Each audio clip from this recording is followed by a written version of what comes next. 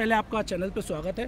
बिंद्रा जी, वो जो जो दिल्ली में सिख समुदाय के जो युवक पर पिटाई हुई थी उस मामले पे अभी तक आप पीछे हटने को तैयार क्यों नहीं जी आ, मैं पहले तो बलविंदर जी आपका पहले तो शुक्रिया अदा करना चाहता हूँ जो आपने इस कॉज को लिया क्योंकि ये बहुत ही गंभीर कॉज है ये दिल्ली के लिए। क्योंकि जब हम लोग एक आम आदमी जब एक सड़क पे जाता है और उसके साथ अगर ऐसा दुर्व्यवहार किया जाता है उसको लाठी डंडों से मारा जाता है उसको सड़क के ऊपर घसीटा जाता है उसको भी और उसके नाबालिग बेटे को भी जो भी चौदह वर्ष का उसका बेटा है उसको भी घसीटा जाता है। और कारण जब पूछा जाता है तो कारण बताने के लिए कोई भी तैयार नहीं है। दिल्ली पुलिस भी इस कारण को बताने के लिए तैयार नहीं है कि उनको क्यों मारा गया? क्या वो आतंकवादी थे? क्या वो उनके ऊपर केस थे? क्या उनके ऊपर क्या कारण था जो उनको इतनी बुरी तरह से मारा गया?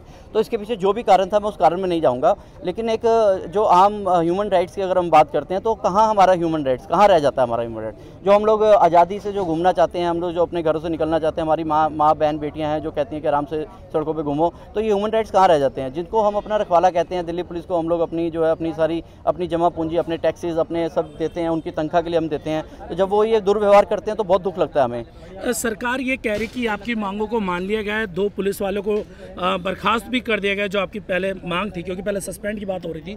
लेकिन अब उन्हें परमानेंट नौकरी से हटा दिया गया है। तो उसके बावजूद भी आंदोलन अभी लगातार मैं पहले आप लोगों को बता देना चाहता हूँ यहाँ पर बारह पुलिसकर्मी थे। जो 12 पुलिसकर्मी जो दोषी थे इसमें जो दिखाए गए हैं, अब किसका कितना रोल था इसमें हम लोग नहीं जाएँगे। जब एक बैंक को लूटने के लिए अगर कोई गिरोह बनता है तो सभी की इन्वॉल्वमेंट उसमें बराबर मानी जाती है। दो लोगों की या चार लोगों की नहीं मानी जाती है। तो यहाँ बारह लोग जो आइडेंटिफाई हुए हैं। पहले जो है दिल्ली पुलिस ने चार लोग आइडेंटिफाई किए थे, उसके बाद आठ लोग और आइडेंटिफाई करके उन्होंने लिस्ट दी है हाईकोर्ट के अंदर।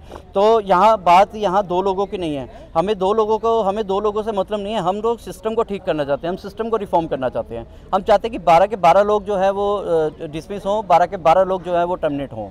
आपकी जो एक मांग थी 295 ए लगाने के लिए हमारी प्रशासन के लोगों से बात हुई थी। लेकिन वो ये कह रहे हैं अगर हम 295 ए लगाते हैं तो जो पुलिस के अधिकारी हैं उनका जो मोरल है वो डाउन हो जाएगा और फिर वो भविष्य में कभी भी कोई ऐसा केस करते हुए कई बार घबराएँगे। जी मैं मैं आप लोगों को यही अवेयर करना चाहता हूँ इस मोर्चे का कोई व्यक्तिगत हमें कोई पुलिस वालों से कोई वैर नहीं है। हम व्यक्तिगत इन लोगों के साथ नहीं लड़ रहे हैं। हम लोग ये चाहते हैं कि अगर ये बारह पुलिस वाले अगर अगर टर्मिनेट हो जाते हैं तो पूरी पुलिस पूरी पूरी पूरी पूरी की पूरी पूरी फोर्स को पूरी की पूरी पुलिस सिस्टम को एक मैसेज चला जाएगा कि अगर उन्होंने लाठी डंडे से सरबजीत के ऊपर अगर उन्होंने हमला किया था तो उनकी नौकरी चली गई है। तो ये मैसेज, ये लेसन बहुत ज़रूरी है दिल्ली पुलिस के जो नीचे के तबके के हैं। आला अफसर की बात नहीं करूँगा। आला अफसर जो आई पी एस हैं आई एस हैं, जो एस एच ओ रैंक के जो लोग हैं, जो एस एच ओ रैंक के जो ऑफिसर्स हैं, वो बहुत समझदार हैं, सुलझे हुए हैं, पढ़े लिखे हैं। लेकिन जब हम बात करते हैं कि eighty two, eighty three, eighty four या एटी से पहले की जो जितनी भी भर्तियाँ, अगर आप उनको एक ईमेल लिखने के लिए भी बोलोगे और लैपटॉप लेके दोगे तो वो ईमेल भी नहीं कर पाएँगे। तो हम बात करते हैं उस पुलिस की। जिन्होंने ये काम किया, जिन्होंने जो समझदार नहीं है, जिनको अपने राइट्स मालूम नहीं है, एक ह्यूमन राइट्स को मालूम नहीं है तो हम ये चाहते हैं कि इन बारह लोगों को टर्मिनेट किया जाए। इन बारह लोगों के टर्मिनेट होने के बाद एक लेसन जो है, एक एक अपने आप मैसेज एक दिल्ली पुलिस के अंदर क्या, पूरे वर्ल्ड के अंदर एक मैसेज चला जाएगा कि अगर किसी ने लाठी डंडे से किसी को मारा था, उसकी नौकरी चली गई है। वो यही कहना चाह रहे हैं कि यदि हमने इन पर कार्रवाई की, प्रशासन के लोगों का जब हमारी पर्सनल बात हुई तो विदाउट बिना कैमरे के उन्होंने ये बात कही थी कि अगर हम इन पर कार्रवाई करते हैं तो अगली, आगे भविष्य में कोई भी पुलिसकर्मी किसी अदर के उस पर कोई केस करने से पहले दस बार सोचेगा और डरेगा। और इससे कहीं ना कहीं जो है, अराजकता तो हमेशा हावी रहेंगे। नहीं, देखिए, अराजकता तभी होती है जब लोग समझदार नहीं होंगे। अगर इनकी पुलिस के अंदर अगर समझदार लोग नहीं है, अगर वो डिसिप्लिन में नहीं है तो अराजकता तो फैल सकती है, कोई बड़ी बात नहीं है। जो अराजकता रोड के ऊपर इन्होंने किया हो सकता है कि अपने ऑफिसर्स को भी डंडे से मारें।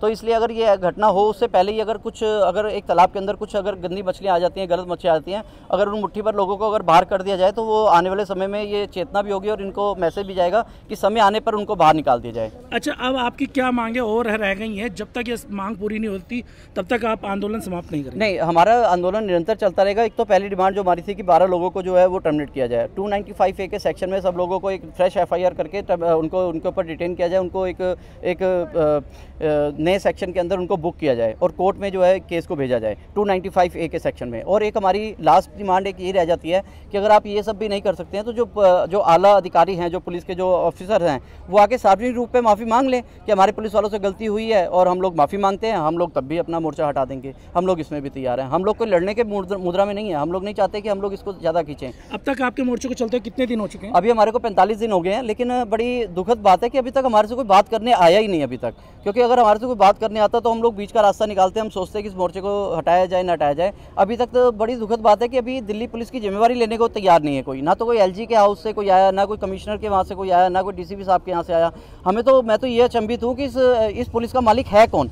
अगर इस पुलिस का मालिक, अगर हमने अगर मोर्चा लगाया हुआ है मुखर्जी नगर के थाने के बाहर तो अभी तक कोई पुलिस की तरफ़ से हमसे बात करने नहीं आया। पैंतालीस दिन हो गए हैं, उनको ये भी देंगे कि बात करके देखी जाएगी कहाँ क्या समस्या है हम लोगों की। हमसे अभी तक कोई समस्या पूछने भी नहीं आया। तो मैं यहाँ टीवी के माध्यम से और सब कैमरा के माध्यम से मैं अपील करना चाहूँगा अपनी दिल्ली पुलिस को कि जो भी दिल्ली पुलिस का मालिक है वो सामने तो आए कि दिल्ली पुलिस का मालिक है कौन? हमें पता तो लगे दिल्ली पुलिस का मालिक कौन है? इस सिस्टम के पीछे है कौन? इस सिस्टम को चला कौन रहा है कि पैंतालीस दिन हो गए, हमारे से कोई बात करने नहीं आया तो हमें तो लगता है कि दिल्ली पुलिस जो हवा में चल रही है, उसके साथ पीछे कोई भी नहीं खड़ा हुआ। चैनल को सब्सक्राइब नहीं किया है तो प्लीज़ सब्सक्राइब कीजिए और ताज़ा अपडेट पाने के लिए बेलाइकन को दबाना ना भूलें।